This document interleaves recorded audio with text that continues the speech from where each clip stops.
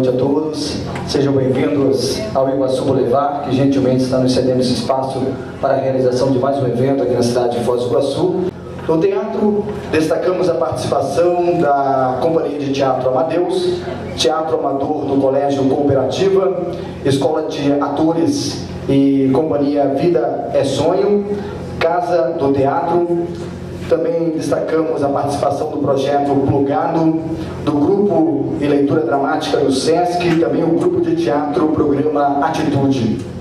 Na dança, destacamos aqui a participação da Cia do Corpo, Companhia de Dança, do grupo de dança Plugado, do balé Melissa Martins, da Companhia de Rua, do projeto Dança que Encanta, do Provopar, além também da participação dos professores, bailarinos e também coreógrafos Nina Nassif, Daiane Oliveira, Shadia Scherer, Marcos Silva, Sandro Rodrigues, Pedro Almeida e o Marcão além das companhias de outros estados e também países que estarão presentes durante os 10 dias de evento, trazendo arte e cultura de todas as suas regiões. Este projeto foi contemplado pela FUNARTE, que é a Fundação Nacional das Artes, no prêmio FUNARTE Festivais de Artes Cênicas 2010. Nós agradecemos o apoio do Iguaçu Boulevard, do SESC de Foz do Iguaçu, da ONU Teatro Bar e também do estacionamento Bismillah. Chamamos para o uso da palavra o coordenador do Festival de Teatro de Foz do Iguaçu, edição 2010, senhor Juca Rodrigues. É com grande satisfação que voltamos aqui ao palco do Iguaçu Boulevard para iniciar mais uma temporada de espetáculos do Festival de Teatro de Foz do Iguaçu. O festival que foi um projeto que começamos há algum tempo, tomou corpo, cresceu e hoje ele, ele vai além das fronteiras de Foz do Iguaçu e do Brasil. Nós conseguimos trazer uma mostra latino-americana, conseguimos trazer atividades que vão além do palco. As atividades conversam com a plateia e conversam com o público de Foz do Iguaçu e região. Nós temos a oportunidade aqui de fazer com que a arte seja um intercâmbio entre o artista, o poder público e a sociedade civil. Então, eu quero desejar a todos que nesses 10 dias estarão aqui em Foz do Iguaçu acompanhando esses espetáculos da cidade, espetáculos muito bons da nossa cidade, espetáculos que vêm de outros estados do Brasil e da América Latina, oficinas, janelas de intervenções urbanas, palestras, enfim, uma série de atividades preparadas com carinho para Foz do Iguaçu. Queremos ser um evento à altura da cidade de Foz do Iguaçu. Então eu quero desejar a todos que venham, que prestigiem, que curtam o Festival de Teatro, que essa festa, com certeza, é para todos vocês de Foz do Iguaçu. O diretor executivo do Festival de Teatro, o senhor Adilson Basini. Boa noite a todos. O ano passado, essa mesma equipe de, da coordenação do evento, que não passam de 10 pessoas, realizaram o Festival do Teatro em 2009. O ano passado eram 10 dias, não 8 dias. Passamos para 10 dias. O ano passado se decidia a nível de estados da região sul e alguns do sudeste. Este ano, passamos a nível latino-americano com alguns países aqui da América do Sul. O que eu quero dizer é que esta mesma equipe que está fazendo espetáculo, agora também está fazendo milagre. Porque nós estamos com menos recursos financeiros em relação ao ano passado. Então, quando se, quando se aumenta o espetáculo com menos recursos financeiros, só por milagre. Mas mesmo assim, a cidade merece. E nós esperamos que todos tenham uns extraordinários momentos durante esses dez dias de espetáculo. Nós esperamos que a sociedade iguaçuense prestigie os seus artistas, que aqui no palco nós vamos ter vários talentos da nossa cidade.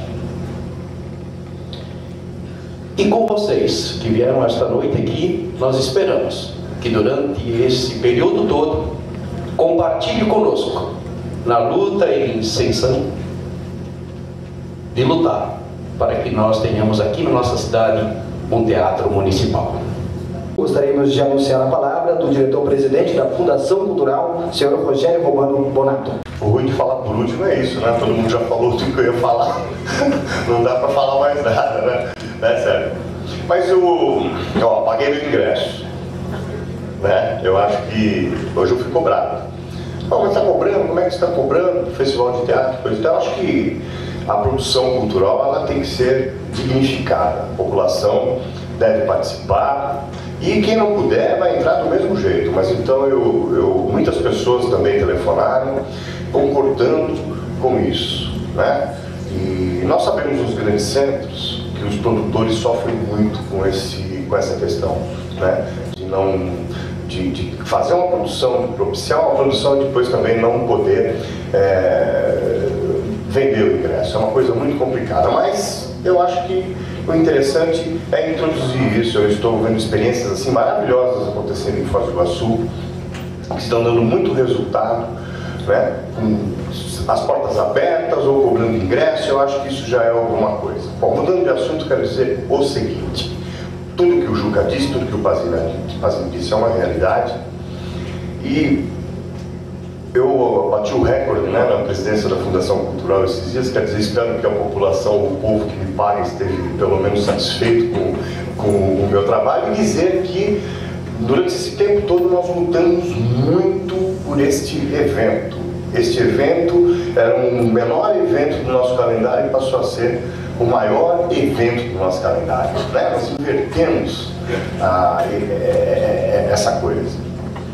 Era um evento pequeno que acontecia lá no Teatro Barracão, em condições uh, até precárias, que graças a Deus nós estamos numa campanha vocês viram aí fora para poder melhorar o Teatro Barracão e envolver a comunidade nessa, nessa, na, na, nessa reconstrução, nessa revitalização do teatro. E, e, e com isso, com essa, com essa ideia de revitalizar o teatro, a gente envolve e o movimento cultural, o movimento teatral, ele nasce assim, de eventos como esse. É, de eventos assim que a gente vai fazer o, o, o, o, teatro, que vão surgindo os produtores, que vão surgindo é, é, das Olimpíadas do Saber, as crianças que estão lá fazendo as peças na escola e elas depois querem vir para o Festival de Teatro, estarão aqui nessa programação, foram todos convidados. E teatro a gente faz assim, primeiro criando um movimento cultural e depois brigando para construir o teatro. Eu queria aqui anunciar que nós teremos o nosso teatro. Tá? O teatro é, está num projeto de construção do novo centro cívico e lá naquele espaço de construção do, novo centro cívico, ali num pedacinho a gente coloquei teatro municipal. Então já está no projeto, estão aí discutindo a compra do terreno, né, Nilton? Um processo que a gente sabe que vai levar um tempo, que não é fácil, mas pelo menos isso a gente conseguiu. Né? Então a nossa luta é para que espaços que possam ser transformados em teatro sejam ocupados, como este aqui hoje, um teatro maravilhoso, que eu tenho certeza que se a gente tivesse bastante eventos em cartaz, ele estaria sempre funcionando. A mesma coisa seria, será o Teatro Barracão, ou é o Teatro Barracão já com a Casa do Teatro, trabalhando ali, fazendo um trabalho espetacular junto à comunidade. Outros espaços que nós temos em Foz do Iguaçu que nós devemos ocupar fazendo teatro. O nosso tablado é uma coisa muito séria, de produção muito séria, e o nosso festival está sendo reconhecido nacionalmente, até internacionalmente por isso, pra, porque ele vem da base né, do nosso teatro. Nós somos formando atores, produtores, iluminadores, diretores, escritores, é, drama, pequenos e grandes dramaturgos, e assim. E assim é que a gente vai espalhar essa nossa arte para quem vem nos ver e para quem quer nos ver lá fora. Tá? Então eu quero, é, para encerrar, agradecer a presença de todos e pedir que prestigiem esse nosso evento durante esses dias, que ele é feito com muito carinho para vocês e para toda a população. Obrigado.